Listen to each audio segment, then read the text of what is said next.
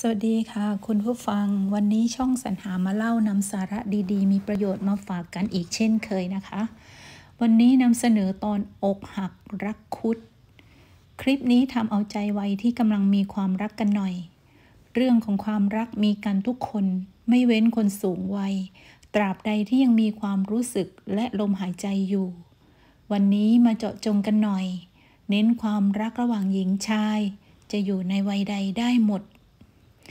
หากเราไม่มีความรู้สึกรักใครสักคน เราคงจะไม่รู้จักคำว่าอกหักหรอกนะ แล้วความรักกับความรู้สึกอกหัก มันสัมพันธ์กันอย่างไร มาติดตามกัน เมื่อไหร่ที่เรามีความรัก เราจะรู้สึกมีความสุข สุขอย่างประหลาด เห็นอะไรเป็นสีชมพูไปหมด มองไปทางไหนเห็นอะไรก็ อุ๊ย น่ารัก จากคนกระด้างกระด้างก็กลายเป็นคนอ่อนโยนไปโดยอัตโนมัติทำไมถึงเป็นแบบนั้น นั่นก็เพราะตอนที่เรามีความรัก เรารู้สึกสุขใจ จากการที่ร่างกายหลั่งสารแห่งความสุขออกมา เช่น สารโดพามีน สารเฟนิลเลไทรามีน สารเอนโดฟิน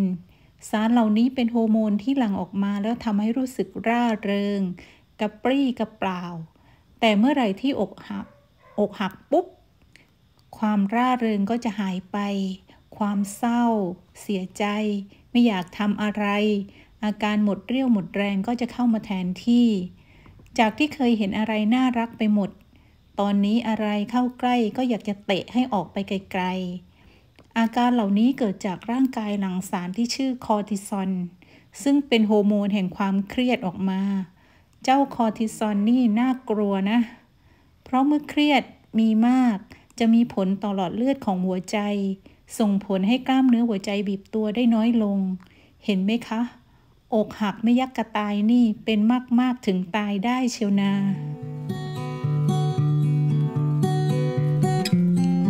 อกหักคือประสบการณ์ทางความรัก ที่เข้าใจว่าหลายคนเคยผ่านมาในชีวิต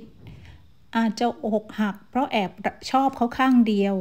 อกหักเพราะรักคนที่มีเจ้าของอยู่แล้ว อกหัก เพราะคบกันไปแล้วหลาย ๆ อย่างเข้ากันไม่ได้ ต้องจบลงด้วยการแยกย้ายกันไป หรือเพราะเหตุใดก็แล้วแต่ เคยสังเกตไหมว่า เมื่อใดที่ความรัก ชีวิตเมื่อใดที่มีความรัก ชีวิตจะเต็มไปด้วยความหวัง แต่เมื่อหวังแล้วไม่สมหวัง สิ่งที่ตามมาคือความผิดหวัง หรือที่เราเรียกกันว่าอกหักนั่นแหละค่ะอาการแรกที่เกิดขึ้นหลังจากที่เรารู้ว่า เราผิดหวังจากความรัก คือไม่อยากจะเชื่อว่า สิ่งที่เกิดขึ้นมันเป็นความจริง มันลอยลอยเบลอเบลอเหมือนฝันไป ใช่หรือที่เมื่อกี้เขาโทรศัพท์มาบอกเลิกเรา ใช่หรือใช่หรือ มันเป็นความจริงหรือนี่ พอเริ่มตั้งตัวได้มากขึ้น ความรู้สึกต่อมาคือความรู้สึกโกรธ บางคนแสดงออกด้วยการพานด่าทั้งคนบอกเลิก ทั้งคนที่เกี่ยวข้อง อาจจะถึงขนาดโพสด่า โพสเฟซด่ากันเลยทีเดียว ความรักพังครั้งนี้ยอมรับไม่ได้ทำไมและทำไม ต่อจากนั้นเราก็หาวิธีต่อรอง อ้อนวอนขอให้กลับมาเหมือนเดิม ฉันจะปรับปรุงตัวเองใหม่นะ ฉันจะให้เวลาเธอมากขึ้น ฉันจะบราบราบราอาการพยายามง้อขอคืนดีนี้ ทางจิตวิทยาถือเป็นสัญชาตญาณของมนุษย์ ที่เมื่อรู้สึกสูญเสีย จะรู้สึกว่าตัวเองไม่มีอำนาจไปขณะหนึ่ง การทำแบบนี้เป็นการดึงอำนาจการควบคุมกลับมาเป็นของตัวเองอีกครั้ง ซึ่งช่วงเวลาตั้งแต่การไม่ยอมรับความจริงที่เกิดขึ้น การแสดงออกถึงความโกรธ และการต่อรอง แต่ละช่วงใช้เวลาไม่เท่ากัน ขึ้นอยู่กับสภาพจิตใจของแต่ละคน หากกลไกในการต่อรองไม่สำเร็จ คนอกหักก็จะเข้าสู่โหมดของภาวะโศกเศร้า เสียใจ ร้องไห้ ปิ่มว่าน้ำตาจะเป็นสายเลือด ช่วงนี้ถ้าบางคนเป็นนานหน่อย อาการซึมเศร้าอาจจะตามมา ถ้าผ่านช่วงนี้ไปได้ สติก็จะกลับมาอีกครั้ง เริ่มที่จะยอมรับความจริงได้ เริ่มเป็นช่วงเวลาที่สงบและอยู่กับปัจจุบันอีกครั้ง บางคน กว่าจะผ่านมาถึงช่วงของการยอมรับความจริงได้ ช่วงของการไม่ยอมรับความจริง ช่วงของการต่อรอง และช่วงการโศกเศร้า อาจจะกระโดดไปกระโดดมา แต่ก็เชื่อว่าทุกคนผ่านมาได้แหละ และการที่มายืนอยู่ตรงนี้ณเวลานี้นับว่าแกล่งพอสมควรพอจะเห็นภาพที่เป็นนกลไกของการหกหักกันแล้วนะคะ งั้นเรามาตามกันต่อว่าเราจะมีวิธีไหนบ้างที่จะช่วยให้กลไกที่กล่าวมาของคนอกหักทำงานได้ดียิ่งขึ้น และทำให้เราก้าวข้าม ผ่านมันไปได้เร็วยิ่งขึ้น บาดเจ็บน้อยลง ไม่รุนแรงถึงขนาดต้องพบจิตแพทย์ มาตามกันเลยค่ะ จากที่เล่าให้เห็นภาพก่อนหน้านี้ว่าสิ่งแรกที่มัน ที่มักเกิดขึ้นเมื่อเราอกหักก็คือการปฏิเสธไม่ยอมรับความจริง ดังนั้น วิธีการก้าวข้ามเพื่อให้เรากลับมาเข้มแข็งได้เร็วขึ้น สิ่งแรกก็คือการยอมรับความจริงค่ะ ยอมรับว่าตอนนี้เราไม่มีเขาแล้ว เราจะไม่ได้คุยกับเขาอีกแล้ว เราจะไม่ได้เห็นหน้ากันบ่อยๆแล้ว เรากับเขาไม่เหมือนเดิมอีกแล้ว หากเราตั้งสติทำใจยอมรับว่า สิ่งที่เกิดขึ้นกับเราณขณะนี้มันคือเรื่องจริง เราต้องอยู่กับความจริง และมีชีวิตต่อไปให้ได้ ถึงแม้จะไม่มีเขาอยู่ข้างๆ เราก็ยังมีพ่อแม่ มีพี่น้อง มีเพื่อน มีคนอื่นๆ ที่รักเราอยู่ข้างๆเรา เราไม่ได้ตัวคนเดียวในโลก สิ่งที่ต้องทำต่อมาคือเลิกหมกมุ่น ใช่ ช่วงแรก ๆ คงห้ามไม่ให้คิดถึงไม่ได้หรอก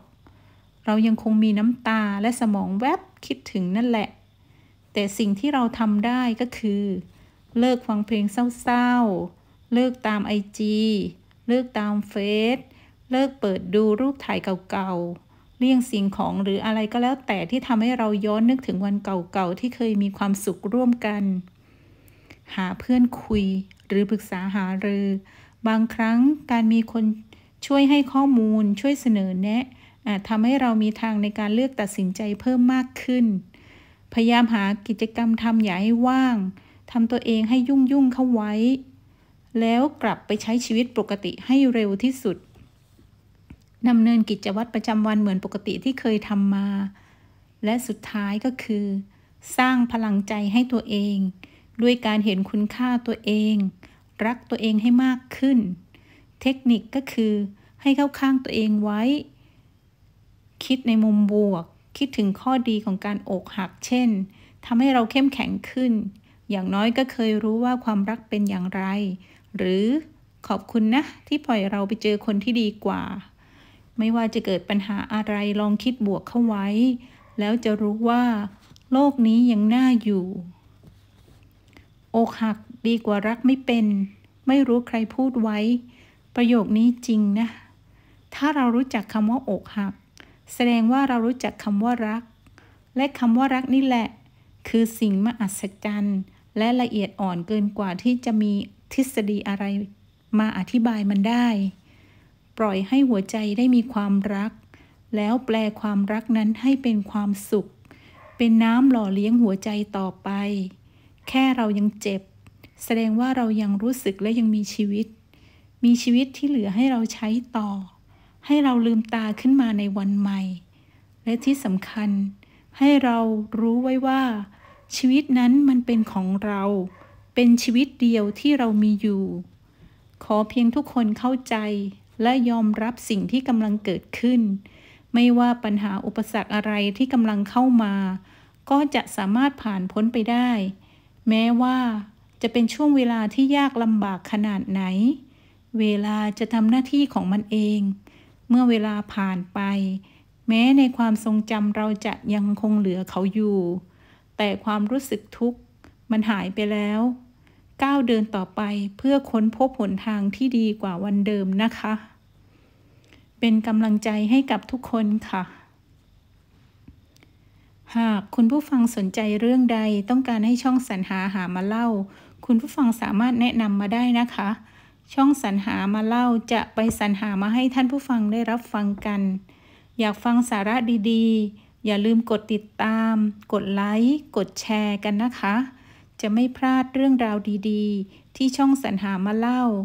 ตั้งใจหามาให้ทุกคนได้รับฟังกันเรื่อยๆขขอให้ใช้ชีวิตอย่างมีความสุขกันค่ะ สวัสดีค่ะ